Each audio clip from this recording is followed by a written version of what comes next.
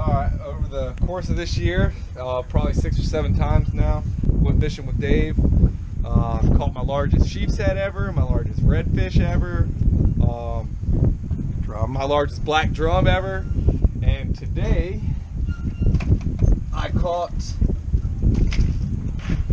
my largest speckled trout ever. Largest speckled trouts, huh? Look at the size of those dudes. Look at these gators. Yes. Yep, two big female trout. Of course, they don't look as good as when they come straight out of the water after sitting in the box all day.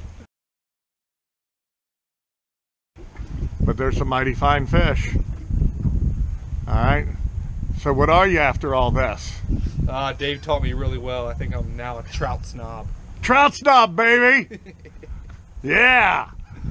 Where I produce trout snobs all the time. Always catching fish.